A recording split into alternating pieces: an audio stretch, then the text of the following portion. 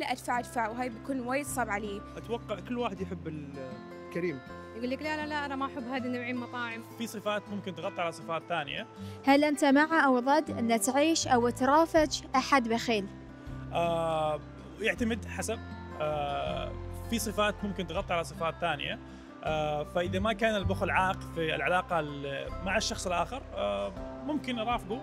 لكن إذا بدأ الموضوع يأثر على باقي الصفات الثانية أو في صفات سيئة كثير والبخل كان واحدة من الصفات فأكيد إنه ما حيكون من السهل إنه الواحد يتعايش مع إنسان بخيل.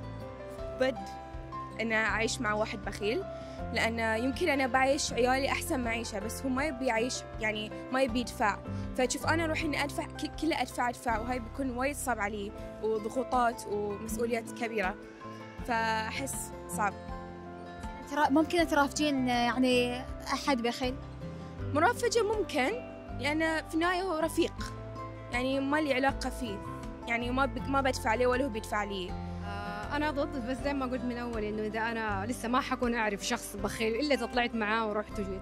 فمع الطلعات بالسفر خصوصا مع السفر وكذا حتبدأ مثلا بعض الأشياء تتعطل عندي هنا لا لا ما يبغى هنا آه تعال نشتري من كذا لا ما بلاش نروح مطعم. مطعم مثلا يبغى مطعم مرتب يقول لك لا لا لا أنا ما أحب هذه النوعيه من المطاعم أنا أبغى مطاعم تكون سريعة وف... يعني حيفضل كذا في أشياء ما راح ننسجم ولا راح آه، نتفق سواء في سفرات في طلعات. فمن دي الناحية يصير الواحد خلاص شوي شوية يبعد وما ي... يعني ما يكمل. هذه مصيبة. بس الواحد ما يفضل إنه يعيش مع أي أحد بخيل ابدا. لأن ال... إحنا العرب عندنا نقصد في ال- الكريم ونحب الكريم. فأتوقع كل واحد يحب ال- الكريم أفضل من البخيل. آه، في علاقة زوجية لازم يكون آه، الكل بيعطي بشكل متساوي. و- والبخل آه، خلينا نقول صفة شينا انه الواحد آه، يتصف فيها في في علاقة عائلية. ولا أعتقد صراحة إنه ممكن يغفر لأحد في العائلة إنه يكون بخيل.